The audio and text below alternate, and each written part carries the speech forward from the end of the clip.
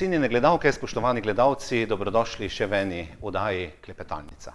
Naš gost je danes Pavle Hevka, predsednik Turistične zveze Slovenije. Pavle, dobrodošli v našem studiu. Hvala, lepo pozdravljeni in hvala za povabilo. Uh, vse indici kažejo, da je ta kriza s koronavirusom praktično vse gospodarske dejavnosti najbolj prizadela prav turizem. Uh, morda navezujoč se na slogan Turizem smo ljudje, ravno zaradi tega, ker se ljudje nismo smeli družiti, nismo smeli potovati, nismo smeli obiskovati eh, destinacij, je tu nastala najgloblja, tudi najhitrejša škoda in verjetno tudi posledice odprave bodo dolgotrajne oziroma dolgoletne. Vaše mišljenje o tem? To drži, ampak lahko povem, da ukrepi vlade so dobri, pravi boni, ki bodo namenjeni vsem nam, ne, tudi upokojencem in otrokom. Eh, pa zadeva bo porabljena v denar v državi, ne. na ta način bomo vrnili domovini. Ne. Eh, gre za seveda eh, segmente v turizmu. Kaj menite, kdo je najbolje utrpel, če malo analiziramo, hotelirji, gostinci, morda tisti, ki ponujajo spominke? Turistična društva, ne na zadnje kot krovna organizacija Turistična zveza Slovenije, eh, nekako združujete vsa turistična društva in recimo prireditve so odpadle, kar je bil en lep vir dohodka v društvu. Tako je, utrpeli smo vsi, ki se ukvarjamo s turizmom. Jaz moram izpostaviti naša društva, 350 eh, jih je približno članov Turistične zveze Slovenije. Eh, ne morejo prirejati prireditev, delajo to prostovoljno in za njih mi je res hudo. Spravi, ni obiskovalcev, ni tujih gostov niti domači si ne smemo družiti. Zaenkrat, ampak zadeve se odpirajo, urejajo in vidim svetlo prihodnost. Rahljanje nekaterih ukrepov, kar seveda pozdravljate na Turistični zvezi Slovenije. Tudi vi ste delali, eh, Pavle, z sodelavkami in sodelavci takole nadaljavo. Ne? Nekateri od doma, eh, verjamem, vi ste bili na delovnem mestu v službi v Ljubljani. Kako je to potekalo pri vas? Jaz sem bil vsak dan na delovnem mestu, približno od pol sedmih pa pozno popovdne. Večina sodelavk in sodelavcev je pa delalo doma, res je. V lanskem letu 2019 čez 6 milijonov nočitev v Sloveniji, eh, če je ta podatek seveda merodajen, eh, zdaj je to seveda upadlo. Ampak ne gre samo za Slovenijo. Turizem je utrpel v globalnem smislu, v Evropi, v svetovnem, eh, velike, velike, zapadejo velike težave in seveda to, kar smo gradili dolga leta, pa tudi nekako v smeri botičnega turizma je sedaj propadlo. Dolgo bo verjetno potrebno čakati, da bomo prišli na nivo iz leta 2019. Ja, tudi po naših ocenah eh, okrevanje bo dolgo. Jaz bi rekel, da kriza šele prihaja, ne? ta koronavirus se umirja, umika, ne? ampak finančna kriza je veliko bolj globoka kot to. Ne?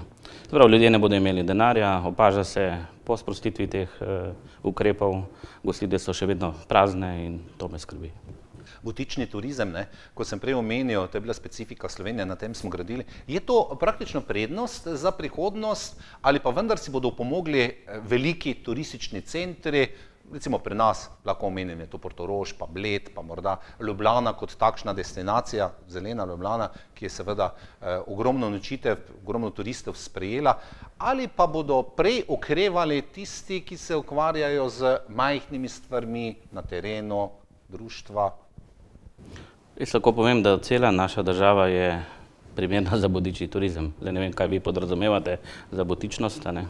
ampak vsak kotiček te države je prelep in vreden ogledane. Jaz lahko rečem, da smo prej hodili v tujino, ne? se je pa čas mogoče, da se ogledamo naše lepote. Ne? V ta namen na Turistični zvezdi snemamo filmčke, Eh, pripravili smo aplikacijo za mobilne telefone.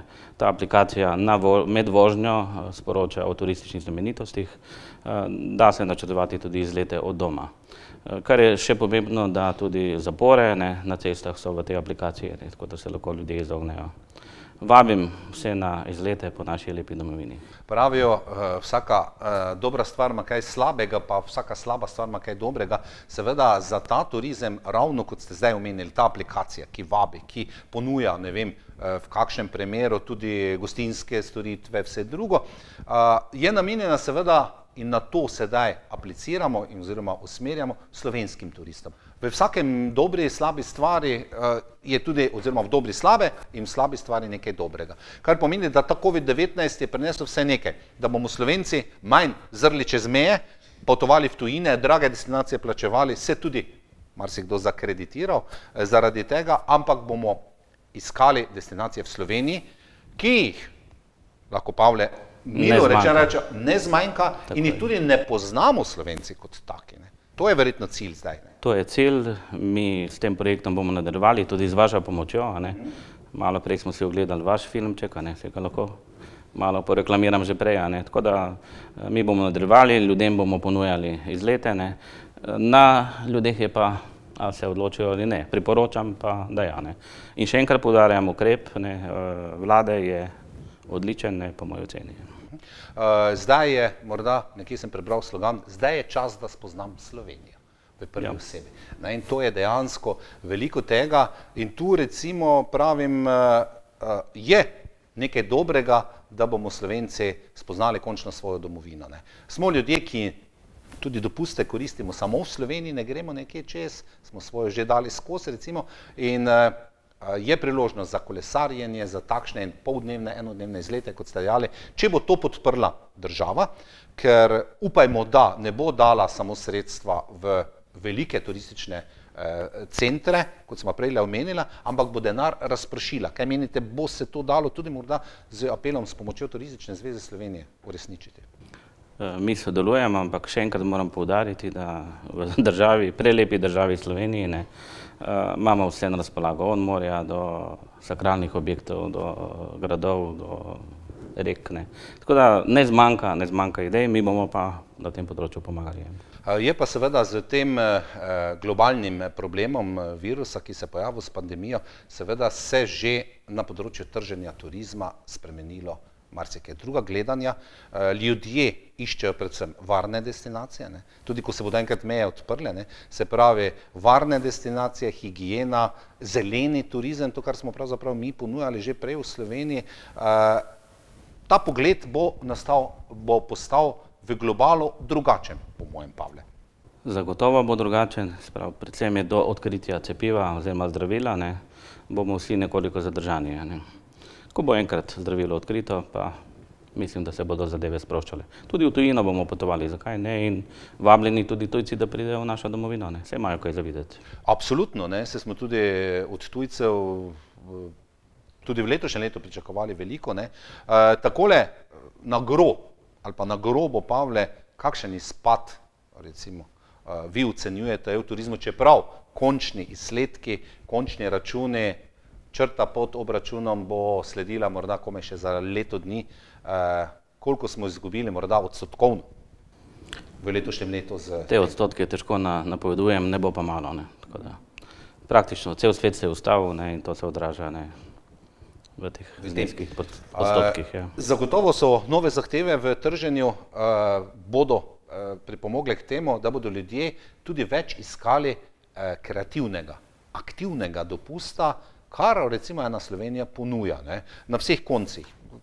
Kolesarstvo, pa morda kaj s čovnom, na vodi, eh, tudi termalna središča imajo možnost, da ljudje ne samo ne poležavajo, ne, pa se samo ne kopajo, ne, tako kot na obali, ampak veliko aktivnega zraven. Ne smemo pozabiti odlična kulinarika, ne, lokalna ponudba. To je tisto, ki na majhnem ozemlju Slovenije ponuja toliko različnosti kot pokrajina sama, ne? Tako je. potem tudi hrana, eh, vse to dolenci, prekmurci, prleki, štajerci, bom rekel primorci. Ne? Je to ena prednost po mojem Sloveniji? Jaz bi rekel, da je to vse, ne? ker eh, prodajati samo posteljo, ne? Ja. ni to to. Ne? Najbolj udobno spimo v lasni domači posli. Ne? Ljudje, ki se odpravljajo na izlet ali pa ne, vikend paket, ne, eh, rabijo doživetja. Ne. Oni hočejo videti, doživeti kulinariko, če želite, ali pa kolesarjenje. Ne. Eh, in ne tok, ne, kakšna je posla. Ne.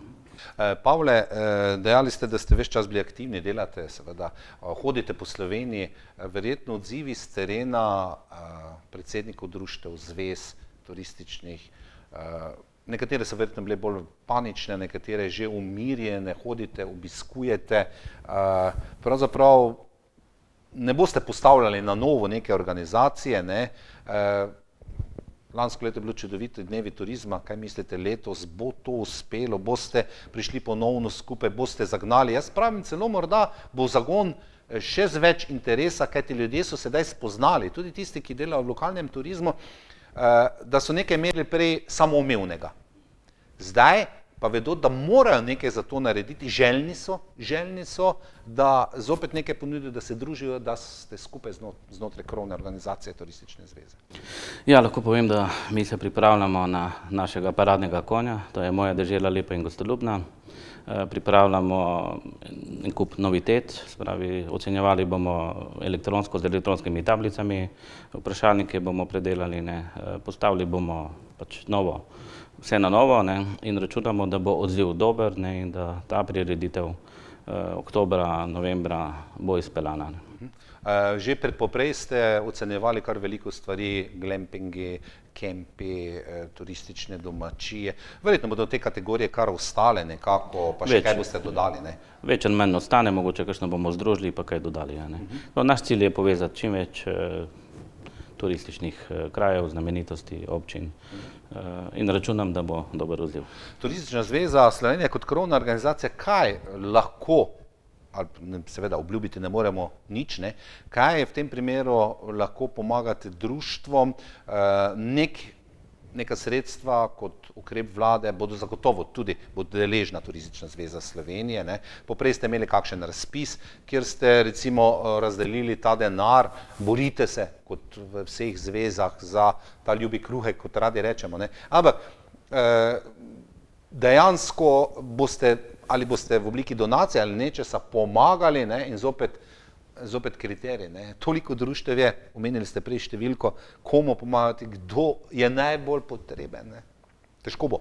Uh, ja, trenutno se borimo za ta sredstva, načrtujemo, da jih bomo pridobili tam nekje 300 tisoč evrov. Uh, jasno, lansko leto smo imeli razpis, ta razpis je bil namenjen za subvencije prireditvam, Eh, letos teh prireditev ni ne, eh, in eh, mislim, da se nagibamo v to smer, da bi društvom dali ta sredstva kot donacijo, ne, zato da bodo drugo leto boljše pripravljeni, mogoče bomo pa kakšno prireditev izpeljali. Ne.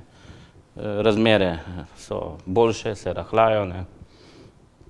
V soboto imamo že eno prireditev ne, in to je v občini Škocjan, prižig Kope, se pravi ogle bomo delali. Ne.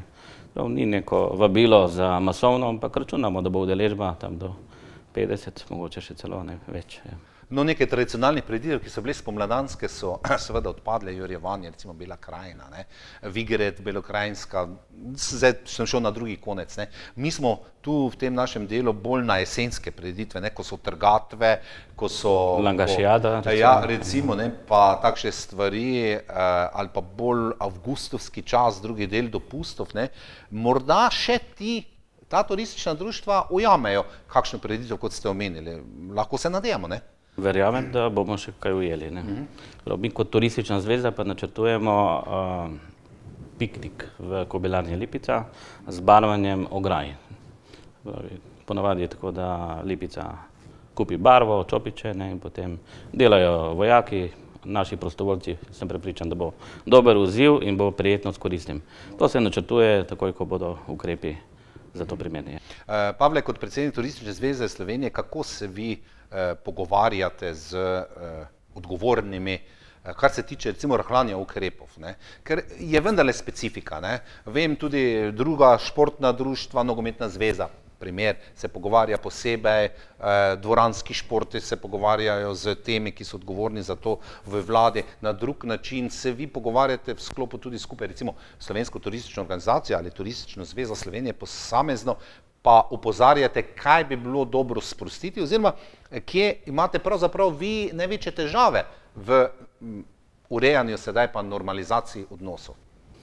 Lahko povem, da odlično sodelujemo s Slovensko turistično organizacijo in pretok informacij je odličen. Uh, nimamo težav s komunikacijo, ne? sodelujemo dobro z vsemi uh mhm. -huh. organi. Uh -huh. Kaj bi recimo vi, kot predsednik za za društva, za turizem naredili najprej, če bi seveda navednica bilo možno, se pravi, ali odprli meje s tujino, ali ne vem, omejili tistih 50, zdaj meni da 50 omejitev, ko govoriva v tele vdali klepetalnica, ki jih je lahko največ na kupu, recimo, ne, kaj postoriti, pa da še vedno nekako v mejah varnosti, ne? Jaz se moram najprej zahvaliti tem prostovoljcem, da toliko let s takim zanosom uh, delajo to, kar delajo, zato da je naša država tako lepa, kot je. Uh, kaj lahko jaz naredim kot predsednik? Mislim, da me boste razumeli, da ne morem, to bomo prepustili organom, ki se s tem ukvarjajo. Ne? Zato so drugi pristojni. Ne? Jasno pa, da si želim, da se ukrepi čim prej razrahljajo, da se meje odprejo, da ta življenje zaživi. Ampak kot prej rečeno, ne, bojim se ekonomske krize ne, in ta je hujša od koronavirusa. Uh, Pavle, zelo sem vesel, da pridete tudi v naše konce. Ne? Svoj čas so bili kakšni predsedniki, ki nismo videli, razen če smo prišli v Ljubljano, recimo na kakšno prireditev. Ne? Hodite veliko po terenu, ne na zadnji stik z ljudmi je zelo pomemben. Ne? Nekaj je telefon, nekaj so medijske, oziroma uh, te povezave uh, spletne, ne? ampak tisto, kar je pravšnjo, je, da pridete na teren, prisluhnete, znate prisluhniti ljudem. Ne? Bili ste že uh, po Sočju, Novi Gorici, sem tudi gledal filmček, ki ste ga posneli na, uh, na teh uh, socialnih omrežjih. Uh, ste se aktivirali v polnosti, osebno, tudi zveza in uh, tudi to je neka učna pot bila za nas vse, ki smo prej to manj koristili, da smo zdaj v tem času, ko so ljudje doma, iskali kaj najti, da smo prek eh, teh socialnih omrežij ustanovljate tudi Instagram oziroma nekaj še zraven, tako da eh, kje najti, kje obiskati, tudi bi želel, da našim gledalkam in gledalcem še enkrat poveste tisto aplikacijo, recimo, kje jo najti, na kakšen način, eh, ki jo si lahko dajo na telefon. Ne. Jaz lahko povem, da je ta korona tudi nekaj dobrega naredila, meni osebno. Ne. Prvič se pojavljam na družbenih omrežjih, ne, približno en mesec, ne. to bomo nadgrevali z Instagramom. Ne se pravi, dobite na osebnem mojem, eh, ko se reče Facebooku, ne, ali pa kar na Turistični zvezi Slovenije. Ne. Jasno pa, da je cilj, da se povezujemo tudi z vami, z STO-jem in z drugimi, tako da uporabniki dobijo čim več informacije. Radi se odzovete po vabilu, tako ste se tudi odzvali po vabilu, da ste prišli s ekipo uh, sem k nam v prek Murje, ne. Uh, sicer pa uh, razpeti, vedno, ne, uh, v bistvu, Pavle, to je eh, ne samo služba, s tem se treba živeti, to je filozofija, turizem, ljudi moraš imeti rad, če želiš takšno funkcijo upravljati tako, kot, ga, kot jo upravljate, recimo Pavle Mine. Ampak to delam res z veseljem, ne. E, jasno, moram se zahvaliti družini, ki me pri tem podpira. Ne. E, zelo rad pridem, pa ni, ni, ni kilometrov in omejitev v katerem koncu države. Če smo doslej govorili bolj pesimistično o vseh stvarih, Pavle, nekaj sem večni optimist. Večni optimisti smo, da um, nekaj optimističnega za naše gledalke, gledalce v zvezi z turizmom, kar izpihajte, povejte, ne na zadnje, je to tisto, kar uh, žene pogon uh, vseh dogodkov, vseh stvari, uh, razvoj, uh, ne samo turizma, družbe kot takšne naprej. Ne. Zagotovo samo optimizem poganja. Ne. Še enkrat, bone je treba dobro izkoristiti, ne. naj to ne ostane neizkoriščeno, slišim, da bomo lahko prenašali, spravi, eh, detki, babice lahko otrokom dajo, vnukom, ne. to se izkoristi in na tak način bomo mi imeli nekaj dobrega, spoznali bomo mogoče naš nov kotiček v prelepi državi in s tem bomo pomagali ljudem, ki tam od tega živijo. Ne. Prav pomembno je, da tam ostanejo, ne, ker najslabše je, če prideš v en kraj, pa ni niti kave za spite. Ne. Ne. Treba je podpreti tisto malico, ko skuhajo zelo ugodno, ne. 5 evrov se dobi že zelo dobro, vaše DDL, recimo, koliko so? 2 evra, 3, ne. Ampak eh, jaz mislim, da ni razloga, da nosimo sendviče v sabo pa vode, ampak dajmo v prekmorju pojesti vašo lokalno tradicionalno jed. Tako da optimizem dejansko poganja svet. Nekako s tem bova tudi zaključila današnjo klepetalnico. Najprej se seveda zahvalim, da ste sedli v avto, Pavle, eh, z sodelavci se zapeljali na drugi konec Slovenije, čeprav Slovenija je majhna. Ne. Eh, hitro prijemo z enega konca na drugi konec, neko te radi, poslušam turiste, rečejo, ne, ja, sej, smučam na kanino za prvi maj, potem pa se že lahko kopam v Portoroži za dve uri ali pa za tri ure. Ne. To je prednost eh, te naše čudovite pokrajine. E, da, nekako ohranjamo stiko, vse bomo storili tudi na naši televiziji, jaz e, pripravljamo, snemamo odaje v mikroturizmu oziroma mikrolokacijah, povabilo našim gledalcem, tudi vi boste preko turistične zveze to pokazali, drugemu delu, Onstram, Trojan, recimo tudi eh, povabilo prek Murije, v Pomurje, v deželo ob Muri, da pridejo semke. In eh, seveda samo tako, da bomo sodelovali, tudi mi zavrtimo, rade volje, kakšen film, sodelujemo z vami, eh, bomo zagnali turizem ponovno eh, na stara pota. In jaz verjamem, da smo se, ali pa da so vse ljudje iz tega, kar smo sedaj podoživljali, naučili veliko novega, koristnega in da bomo to znali, kot ste vi rekli, tiste bone uporabiti tudi v prihodnje. Turistični zvezi Slovenije želim vse dobro, ne, v imenu sodelavk, sodelavcev, ne, vam, Pavle, tako ostanite zdravi, ne, in uh, korajžno naprej, kot radi rečemo, v nove zmage. Uh, seveda kamera je tudi vaša, lahko tudi vi našim gledalkam in gledalcem za konec še kaj sporočite. Ja, najprej hvala, hvala še enkrat za povabilo, hvala za to sodelovanje.